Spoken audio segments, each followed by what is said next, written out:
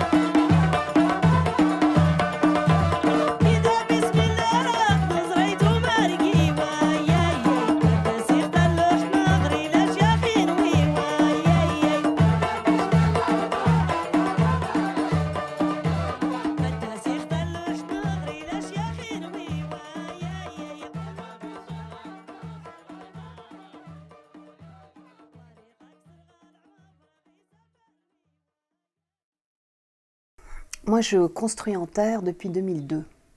J'ai mon autorisation depuis 2004 et j'avais commencé des petites expérimentations pour des expositions, pour euh, la maison, pour euh, la famille.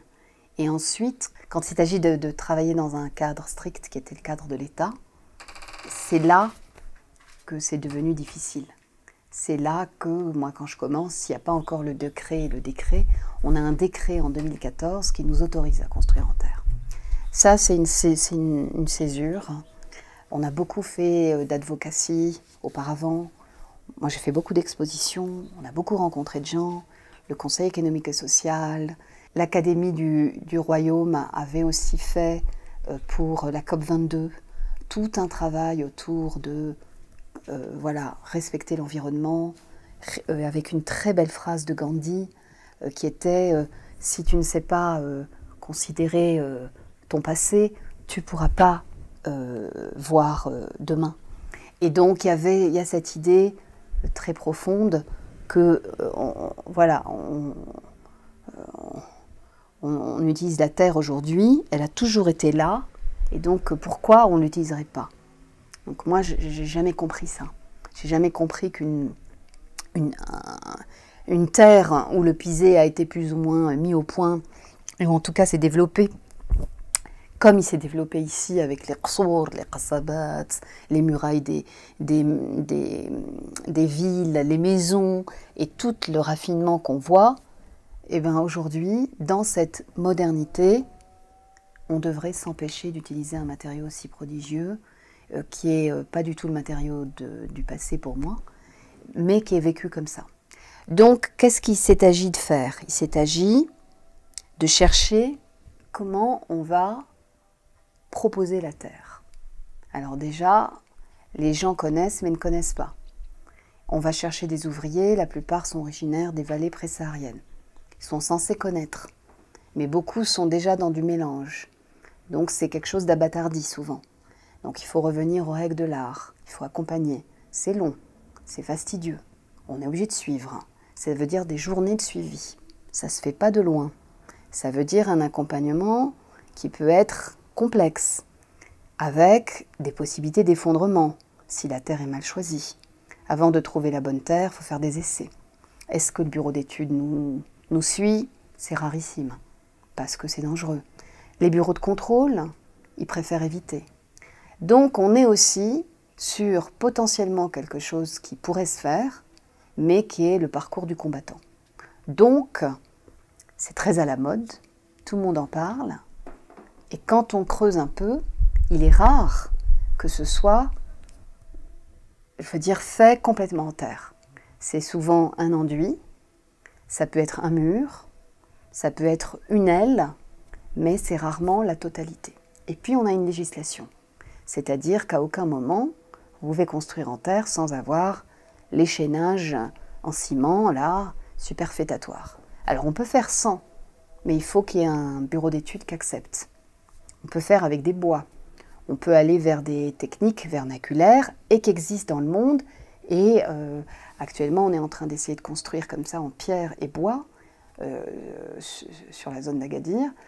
Mais ça nécessite beaucoup d'efforts avec énormément de, contraintes, dont par exemple l'utilisation d'un bois autoclave, ce qui est un bois pour moi qui est mort. Donc euh, voilà. En tout cas, utiliser aussi euh, les matériaux comme, comme le palmier, ça pose des soucis. Donc ce que je veux dire, c'est que c'est très facile de faire un joli petit plan ou de faire un super projet, mais qu'ensuite, dans la réalité de la fabrication de l'objet, il faudra le suivre, l'accompagner, et ça ne s'improvise pas.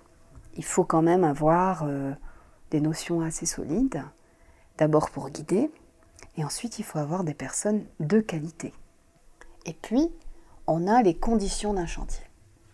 Dans le chantier, c'est rare qu'il y ait un respect des, maçons. C'est rare qu'il y ait un accompagnement, c'est rare qu'il y ait une...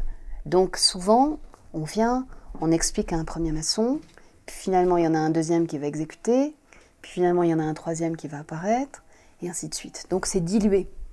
Donc le mieux que moi j'ai fait, c'est que j'ai un démonstrateur dans ma société maintenant depuis 2008, euh, qui est chez moi, qui a, une couverture sociale, etc.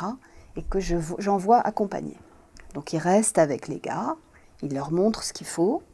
Et quand je suis sûre, parce que si moi j'y vais, je suis un peu, voilà, c'est exotique, c'est une femme, c'est machin. Donc j'y suis pour le démarrage, il est avec moi, il reste quelques jours, une semaine parfois, il revient, enfin je reviens, je m'assure que tout va bien, et là, on reviendra, mais il faut ça.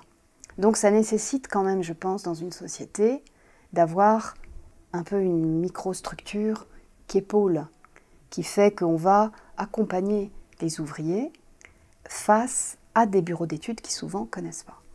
C'est qu'il faut aussi faire le plan et faire le cahier des charges.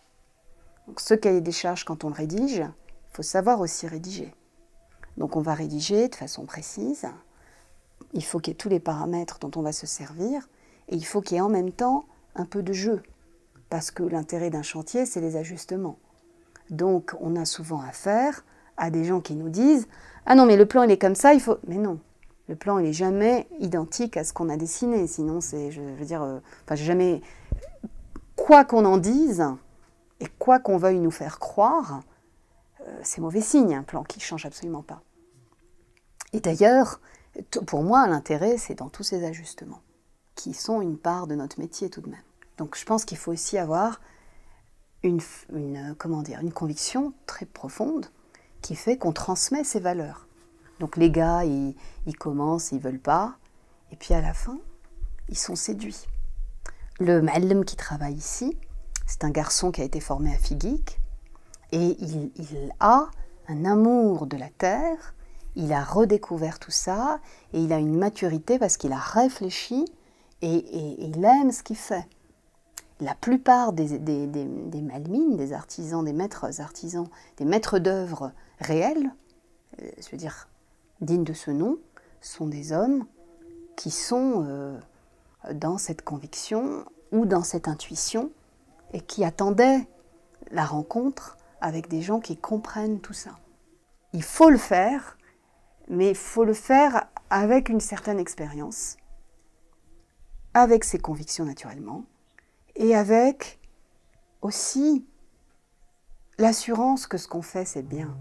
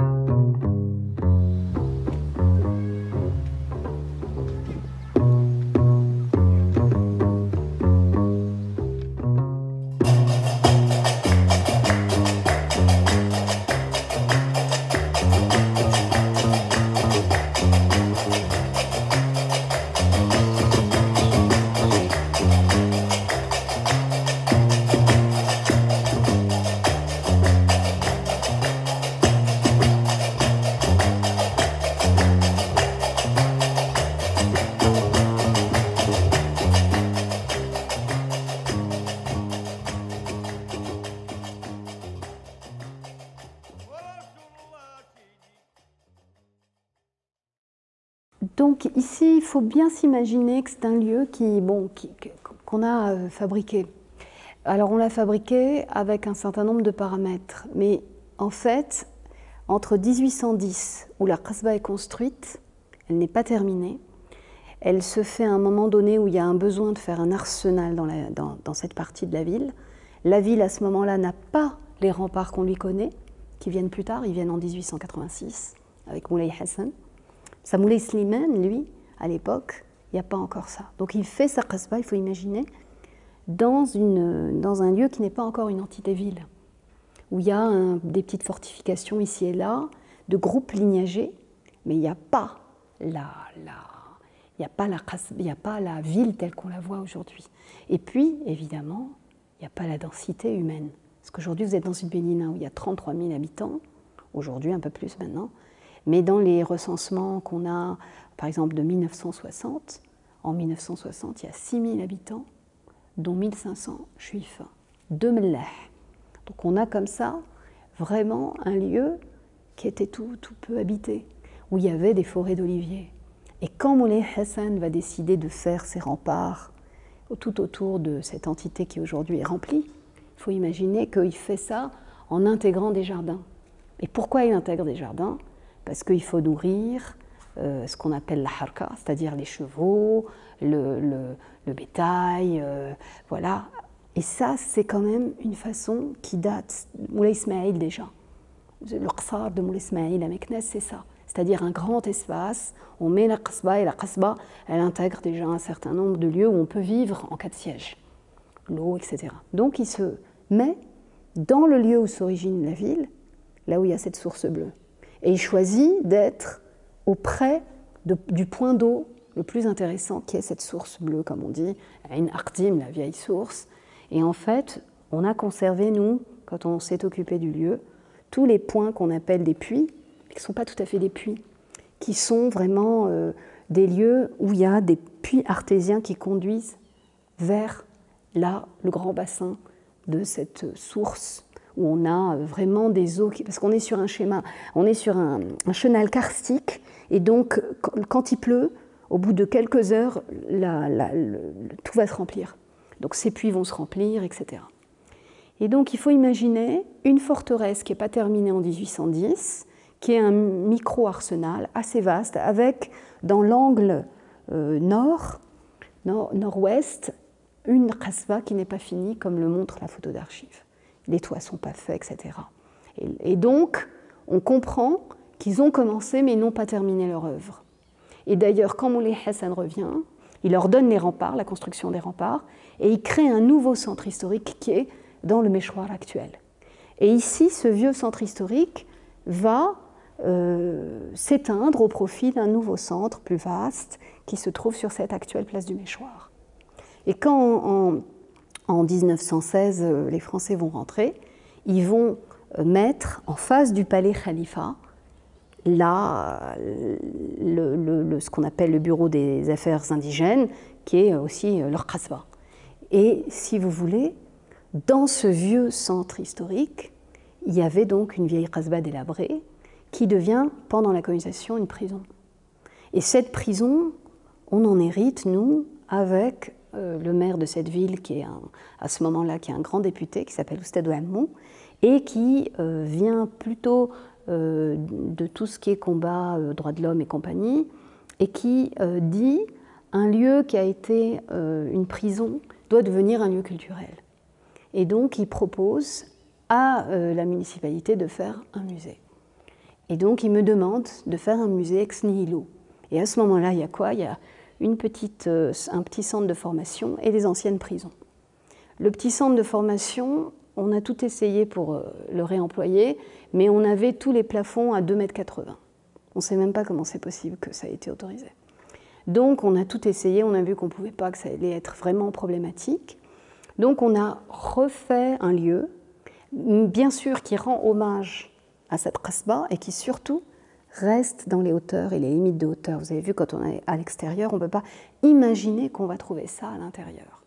Et les limites, euh, tout ce qui restait de l'Arsva, on les a trouvées quand on a euh, enlevé euh, tout les, le parpénage, etc., et tout ce qui était fait de briques et de broc, et qui était l'ancienne prison, et on a gardé les anciens murs de cette fameuse Qasva, qu'on a traité légèrement différenciés.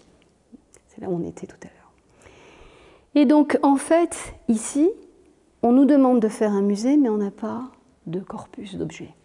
Heureusement, moi je connais très bien la région, je, restaure les greniers collectifs, je m'intéresse à. Et je me dis, bon, qu'est-ce qu'on fait comme musée ici? Alors qu'on a des traditions vivaces. Donc on ne va pas faire un musée euh, de type occidental. Et euh, les gens me disent, écoutez, c'est plus intéressant de faire euh, finalement un centre, un centre d'interprétation du patrimoine. Donc on décide qu'on va plutôt rendre hommage à la région. Et il faut concevoir ce lieu, finalement, comme un lieu où je vais montrer tout ce qui se fait comme technique euh, dans la région et tout ce qu'on peut voir. Et en même temps, je mets un grenier à l'échelle 1 pour dire il y a une tradition absolument extraordinaire, ce sont ces greniers collectifs toujours vivants au Maroc. Et donc toute la partie où on va être plutôt sur euh, une partie là de l'entrée, sur la partie qui, qui, renvoie vraiment au temps long, gravure rupestre, etc. Ensuite, on est sur des broyeurs et des meules, et on sait que ces meules et tout ce système autour des moulins et autour du grain, ça perdure depuis des siècles et des siècles avec le même outillage. Donc on est dans cette idée de vraiment quelque chose qui dure, on est sur une temporalité immense. Et donc ce lieu reflète aussi cela. C'est-à-dire il n'est pas enfermé dans une tradition, il n'est pas enfermé, il reste dans, son siècle, mais on rend hommage à des choses vraiment euh, anciennes.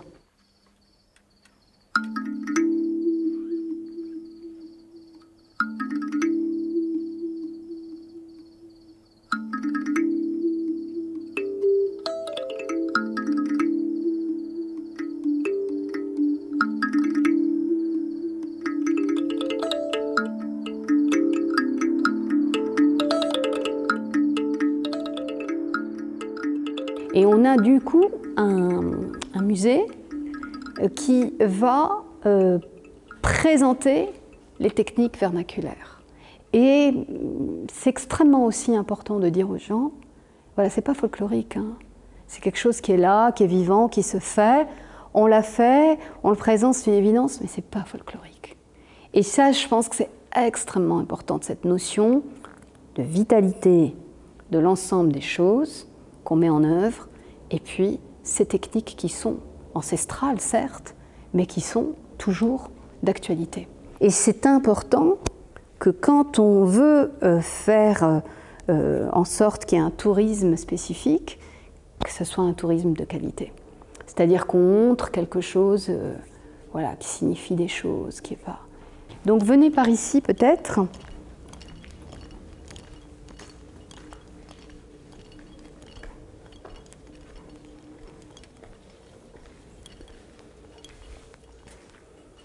Là, c'est un grenier à l'échelle 1. Alors ce grenier, c'est pas un grenier euh, qui existe. C'est une synthèse de grenier. C'est pas non plus les clusters où on démonte un grenier pour remonter un grenier ailleurs. D'ailleurs, il y aura tout un cartel qui expliquera ça. C'est une façon de faire, euh, d'avoir une allée simplement d'un grenier autour de son système de fortification, essentiellement pour les enfants, pour leur dire, vous voyez, un grenier, c'est ça les petits, une fois qu'ils auront vu ça, qu'ils auront compris, ils vont demander à leurs parents d'aller visiter. Et on a mis des techniques que vous voyez là encore, de plafond, voilà, comme ça ne se fait que, que, voilà, que là. Et c'est extrêmement euh, important de, voilà, de visualiser tout ça. Mhm. Parce que euh, qu'on nous dise pas c'est impossible de construire comme ça, il n'y a plus les malmines, il n'y a plus. Mais non, on peut, la preuve. Et même, je sais pas, on peut, comme je vous ai dit tout à l'heure, on doit, on doit.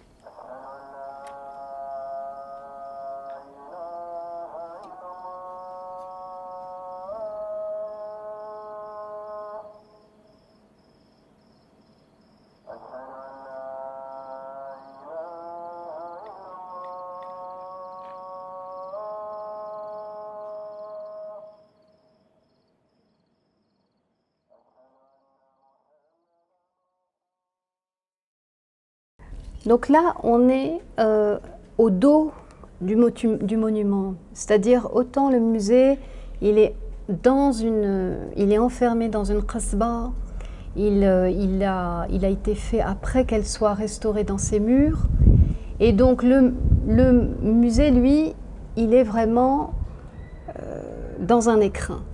Et puis à côté, on a ce centre des archives, plus Tigmin Tamazirt, la maison de pays, qui sont finalement euh, un lieu qui va travailler dans l'ombre du musée.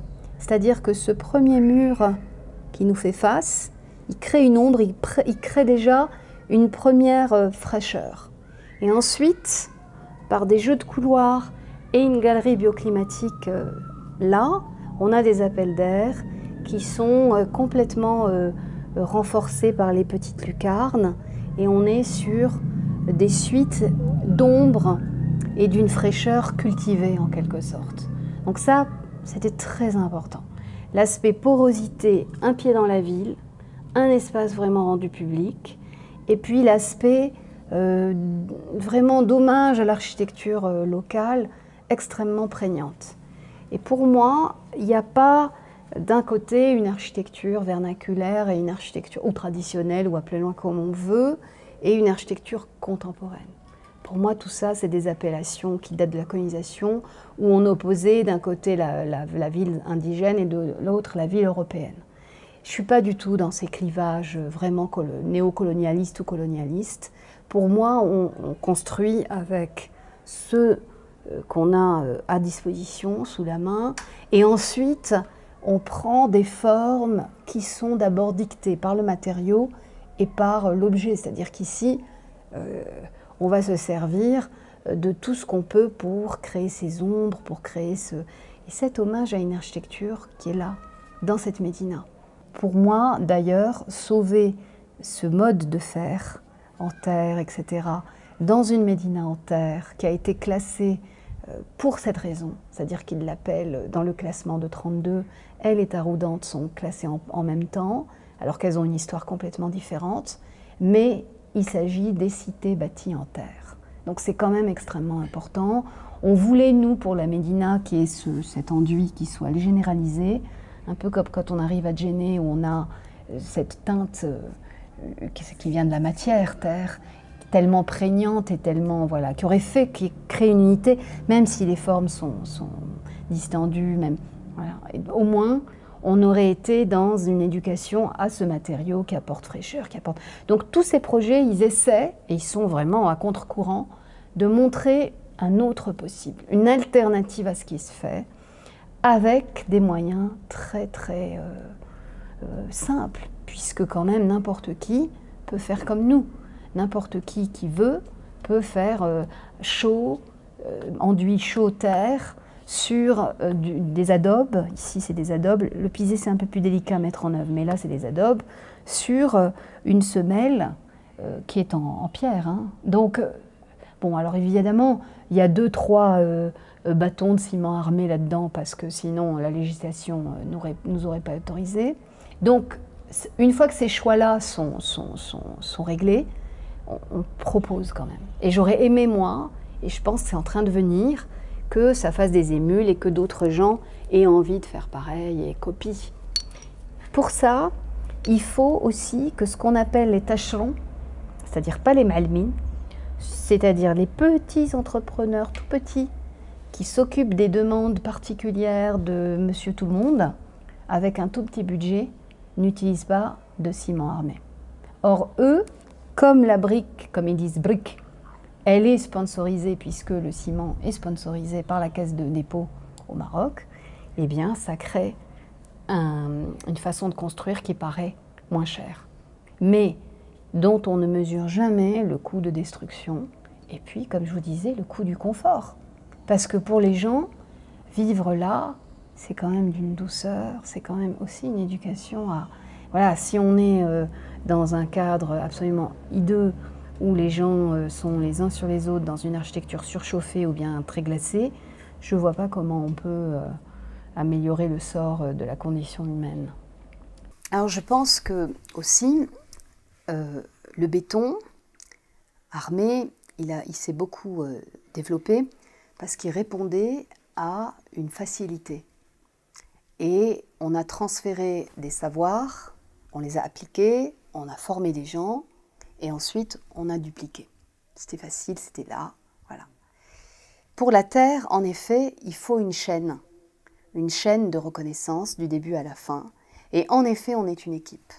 En effet, moi, j'ai besoin d'avoir un interlocuteur qui soit un bon malem, ça, il n'y a pas de doute, ou un bon chef de chantier, souvent c'est le cas, c'est les deux, ou euh, un bon euh, gérant d'entreprise qui, en général, c'est des types sympas, qui sont dans le faire et qui ont une, voilà, qui ont un peu aussi le goût de l'aventure.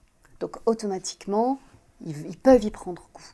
Et puis, dans cette chaîne, moi j'arrive en fin de course. Ça veut dire que ce sont des consultations étatiques. Donc elles ont été cautionnées par des provinces ou des agences du pays avant d'arriver à l'appel d'offres. Cette chaîne qui est indispensable à la mise en place du projet, elle se fait avec, en amont, des gens, par exemple, si je prends la province de Tata, il y a la figure d'un ingénieur qui s'appelle M. Hat Boubekar, Haj qui est un homme extraordinaire, et une autre figure aussi qui s'appelle Moulel Kbiri, qui est un homme qui vous parle de technologie de la Terre, c'est-à-dire que tous les deux sont ingénieurs et tous les deux sont, euh, comment dire, ils savent la valeur de cette architecture. Donc, quand on a commencé à faire ces projets en 2014, après un autre décret qui était les consultations, euh, qui étaient plus du gré à gré, mais étaient des consultations où, voilà, moi j'en ai fait et, et j'ai été choisie, à ce moment-là, c'était des hommes qui avaient envie de ça. Est arrivée la COP22 en 2016, qui a beaucoup œuvré à ce que tout ceci ensuite soit consolidé. C'est-à-dire que les gens se sont dit mais oui, ça a du sens. Je pense qu'avec la Covid et avec la crise euh, aussi climatique, tous ces incendies qui, arrivent et toutes ces difficultés, les gens commencent à comprendre. Je ne dis pas qu'ils adhèrent, mais ils commencent à comprendre. Je pense qu'il faut beaucoup de temps. Pour, par exemple, pour euh, euh, les projets, je, pense que ça fait très peu de temps qu'un particulier va demander à une entreprise de lui fabriquer. Mais on est aussi, comme vous l'avez dit, sur un glissement de génération. Il y a une génération qui tout à coup se dit oh, c'est trop beau, on va pas perdre ça.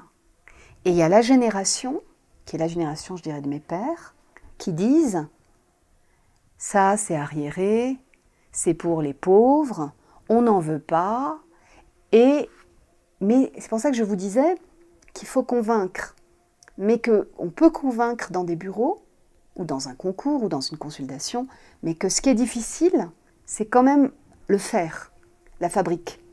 Ça, c'est le plus difficile. Et c'est rendu très difficile par peu de bureaux d'études qui, qui ne jouent pas le jeu. Et la plus grosse difficulté, moi, que j'ai, c'est l'entrepreneur qui prend le plan du bureau d'études avant de prendre le plan de l'architecte. Et ça loupe jamais. Les euh, piliers superfétatoires euh, que la, loi nous oblige plus ou moins à mettre, ils vont être placés là où il ne faut pas. Quand bien même on aura balisé le terrain. Ou bien, à un moment donné du suivi du chantier, il va y avoir une décision qui va être prise qui sera catastrophique. Du type, euh, au lieu de faire des allèges, on met des poutres qui tombent trop bas, et ainsi de suite. Et moi qui suis sur des projets qui vont entre 250 000 dirhams, 25 hein, 000 euros et 1 million et quelques, pour les plus forts, c'est-à-dire 100 euh, 000 euros et quelques, eh bien c'est des tout petits projets avec des budgets où on on peut pas aller chercher. C'est pas possible, donc on doit faire avec les moyens du bord. Moi, quand j'ai commencé à faire mes, mes recherches, c'était en 93. Et à l'époque, toutes ces qassabat, elles étaient mortes. Il n'y avait plus rien. Elles étaient en train de tomber en, ruine. J'avais fait le relevé d'un certain nombre d'entre elles, comme l'Aqsba d'Amridil, qui a été après en extension, etc. Et toutes ces qassabat, elles euh, ont bénéficié d'un engouement à partir des années 99-2000, grâce à une nouvelle mode, et c'est vrai que ça fait penser au Palais des Maharajas, à, une autre mesure euh, en Inde qui, ont donné une, qui sont devenus des Heritage Hotels. Et donc on a eu un engouement comme ça pour euh, les Qassabat qui a sauvé en effet, mais c'était la moitié du chemin. Donc il y a eu une figure très intéressante qui est M. Brahim Louarzazi, qui est décédé depuis, qui avait la Qasba Bahabaha, qui est une des premières. Et la Qasba Bahabaha, elle était intéressante parce qu'il n'a jamais voulu mettre de ciment. Donc lui, il n'a pas mis de chaînage, etc. Et il n'a pas voulu non plus mettre de, de, sanitaire ou de douche dans les étages. Donc elle est, très bien. Et il avait toute une approche aussi sociale, où par exemple, il n'a pas voulu faire une extension où on avait vu sur le lavoir des femmes, voilà, des petites choses comme ça. Et il gérait, il avait une vision très très euh, intégrative et pas une, attitude où le tourisme vient, prend la manne et repart une fois qu'on... Voilà. Je pense qu'aujourd'hui, cette crise, elle a asséché tout, tout le tourisme. et elle a porté préjudice notamment à ceux qui étaient les plus fragiles. Ça doit nous faire réfléchir, non pas à... C'est-à-dire que là, on est sur énormément de paramètres. Moi, je ne suis pas allée vers le tourisme, je suis allée vers la société. Je me suis dit, c'est mieux de faire des bâtiments de proximité en terre, en pierre, et convaincre les gens. Par exemple, les gens, ils viennent, ils visitent, il y a un jour de grande chaleur, où il fait 27 dans notre bâtiment, et le bâtiment à côté qui est en ciment, ça c'est la maternité toujours Tissint, il fait 34 avec le climatiseur branché. Eh bien, ça fait pas photo, quoi. Donc les gens comprennent. Mais pour passer à l'action, il faut, comme je vous disais, qu'il y ait le tâcheron, c'est-à-dire un maçon qui va être recruté, qui accepte de faire des efforts pour construire en terre, c'est un peu plus dur, pour aller moins vite, puisque ça prend quand même un peu plus de temps.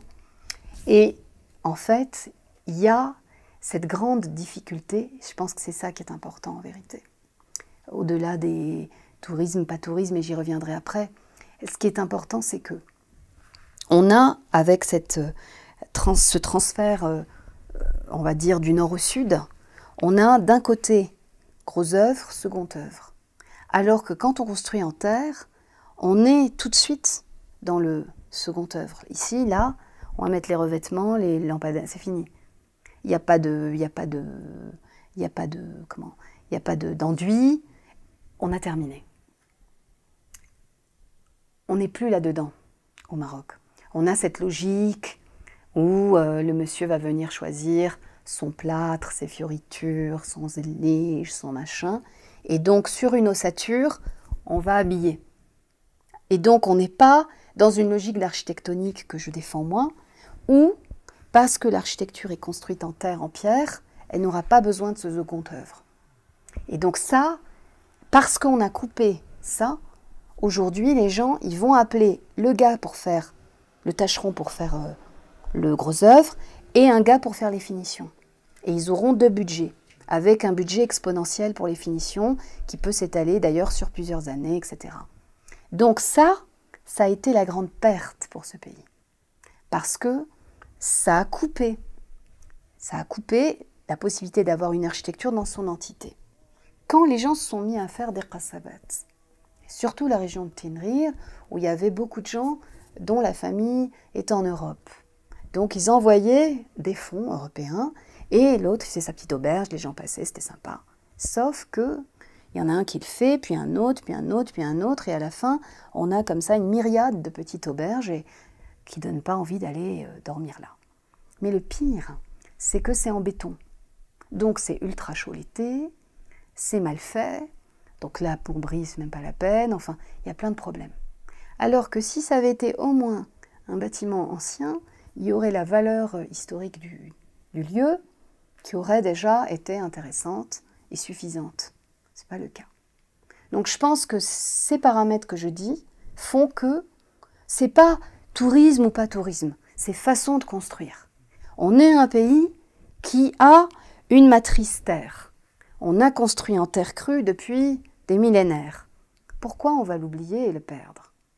On a depuis à peu près deux ans un, organisme qui s'occupe de faire de la restauration d'Erksour.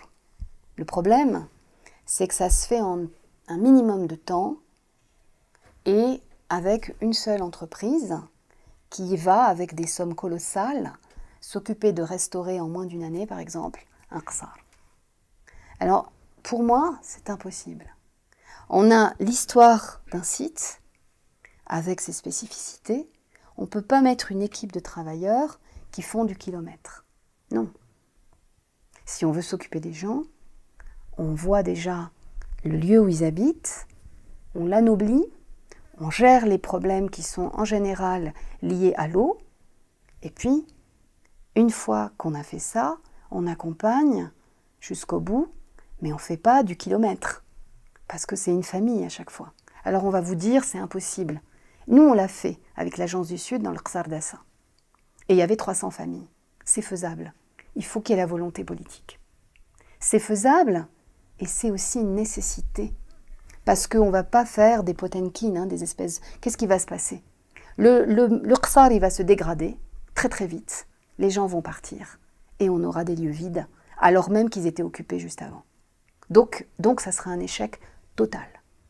Donc il faut bien comprendre qu'on a la chance d'avoir un patrimoine unique, mais on ne doit pas juste s'occuper d'une coquille vide dont on refait euh, les peintures, non.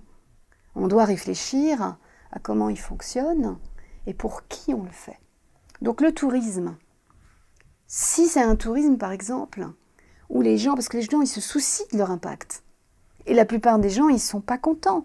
Ils viennent dans ces lieux, bon, il faut bien qu'ils ont payé leurs vacances à l'avance, etc.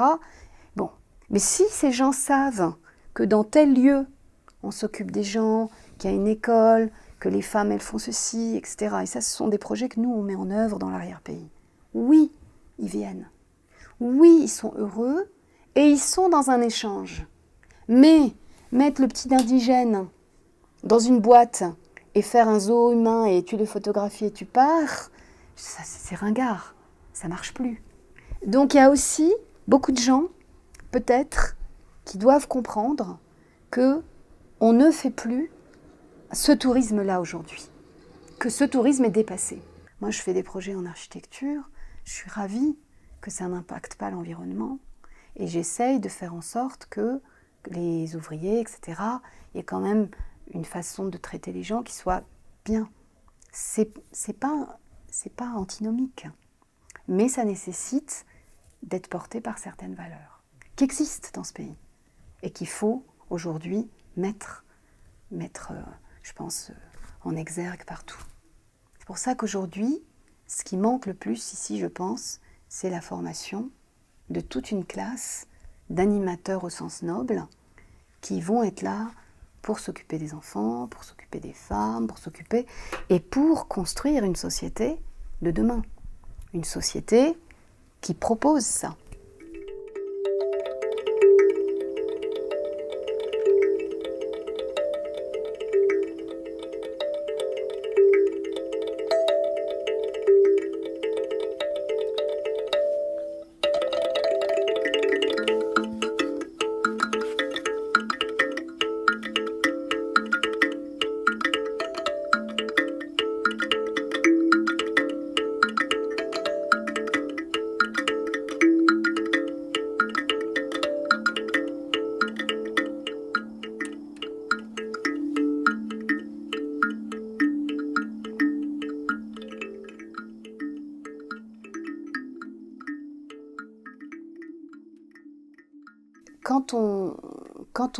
Dans cette modernité, à l'aube du protectorat, on a euh, Lyoté, qui arrive de l'Algérie, qui a vu euh, les traumas, etc., et qui se dit, les indigènes, on va les laisser dans leur médina, et les Européens, ils iront en ville européenne.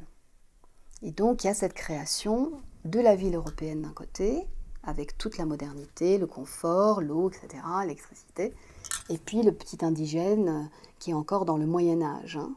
Ils ont des visions comme ça, qui sont des visions avec des stades humains, avec l'Européen tout en haut et euh, la Terre tout en bas, hein, l'âge du bronze, etc.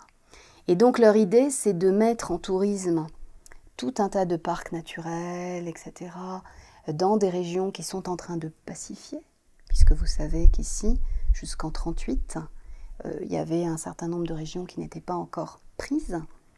Et donc, potentiellement, la zone de Ouarzazate qui est prise dans les années 20, elle, on fait les premières cartes en 1912 du Haut-Atlas, avec le club alpin, tout ça est, voilà, cartographié par les hommes du protectorat, de façon d'ailleurs extrêmement intéressante et dans des mises au point euh, scientifiques à l'époque. Et puis, ils mettent en tourisme les zones. Et donc, ils créent les zones du Grand Ouarzazate, la route des tout ce qui existe aujourd'hui. Ça se met à ce moment-là. Toutes les régions qui ne sont pas trop défigurées, elles, elles étaient à l'époque non pacifiées, en difficulté. Et donc la mise en tourisme, avec cette idée d'avoir d'un côté la modernité dans les grands ports, les grandes villes, et la ruralité qu'incarne tout ce qu'il y a de plus euh, archaïque, on le porte encore aujourd'hui. Et c'est ce clivage auquel moi, je ne peux pas adhérer, bien sûr, et, dont il faut se séparer aujourd'hui. Il faut arrêter de dire, il y a d'un côté le XXe siècle ou le XXIe et de l'autre les siècles obscurs. Et vous avez ça dans d'autres euh, discours, des discours euh, euh, teintés de religion où on vous explique où est la lumière et où est l'obscurité. Donc je pense que il faut, pour lutter contre ça, revenir aussi à des, des paradigmes qui ont voilà qui sont périmés, c'est fini. Aujourd'hui, la question qui est quoi? C'est de voir quelles sont les sociétés, non pas qui méritent d'être mises en tourisme pour euh, rapporter des devises, mais quelles sont nos sociétés qui sont autonomes, qui ont une agriculture locale, qui défendent un certain nombre de, façons de vivre, qui ont des communs, qui sont l'eau par exemple, mais aussi les terrains de parcours pour le bétail, quels sont les, ce que savent faire les femmes, les tapis, etc. Mais on ne va pas mettre tout ça pour que ça rapporte de l'argent. On va plutôt réfléchir à la dignité humaine pour avoir des gens qui vivent bien dans des conditions, etc. L'accouchement, dans les régions euh, où vous étiez, c'est un vrai problème. Toute la région, euh, euh, la cathédrale, enfin, toute la région euh, de Zawiya Hansal, où il y a Eid Bougmez, qui sont qui sont des routes coupées par, par les neiges, etc. C'est des régions qui, qui, qui, souffrent pour les femmes. Il y a euh, beaucoup de problèmes à la natalité, beaucoup d'enfants qui, qui ont des difficultés épouvantables en couche, des femmes, beaucoup de femmes qui, qui meurent, etc. Donc, faut plutôt réfléchir comment améliorer le sort des gens, mais vraiment, pas avec des petits programmes de développement qui veulent rien dire. En partant de ce qui existe, et là, on aura tout. On aura le tourisme, machin, mais en plus, on aura la dignité des gens. Donc aujourd'hui, on va avoir quoi? On va avoir une volonté de mettre en tourisme un maximum de lieux, n'importe comment, sans réflexion. Et en même temps, on va avoir, au nom, euh, euh, au nom des valeurs que je suis en train de, défendre, on va avoir des, programmes. Donc il faut, euh, plutôt vraiment réfléchir à des approches sociétales, régionales, locales. Et je pense que ça peut se mettre en place et ça se met en place ici et là. Mais, c'est comme j'ai dit, c'est très long. La grande difficulté pour le patrimoine aujourd'hui, c'est de détruire au nom de la restauration. C'est ma grande inquiétude. Parce que si nous avons des programmes liés à des financements, ça veut dire qu'on aura des mouches, comme on dit. Et donc ces mouches à miel, elles vont venir non pas pour faire des belles choses, mais pour décaisser. Et donc, cette approche patrimoniale, dans un patrimoine vivant, ne doit pas se faire d'une façon avec une entreprise. Ça doit se faire de façon à ce que on ne soit pas en capacité de détruire et les formes, les formes architecturales, etc., et les, les c'est-à-dire la façon de vivre et les pratiques. Donc je pense que tout ça, ces pratiques dans leur écrin, la grande, grande, grande angoisse aujourd'hui, qui me, c'est que on restaure avec du ciment et on recouvre après. On appelle un drone qui nous enregistre tout ça et puis on fait euh, une reconstruction un peu n'importe comment. Et puis, mais qui a l'air bien. Et on ne se soucie pas de la matérialité, de la vraie mise en œuvre, et on n'est que dans du virtuel finalement. Et ça, c'est le grand danger. Et c'est le grand danger, euh, notamment si on ne forme pas les gens à bien voir.